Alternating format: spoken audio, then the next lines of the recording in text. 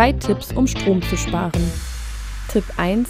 Schalten Sie die Lichter in den Räumen aus, in denen sich niemand befindet. Tipp 2. Bei technischen Geräten gilt, lieber ausschalten statt Standby-Modus. Vor allem der Fernseher, wenn gerade niemand guckt. Tipp 3. Abschaltbare Steckdosenleisten reduzieren ihre Betriebskosten und verhindern, dass Geräte Strom beziehen, die eigentlich ausgeschaltet sind. Achten Sie auch auf Geräte mit hohem Verbrauch, wie Wasserkocher und Bügeleisen.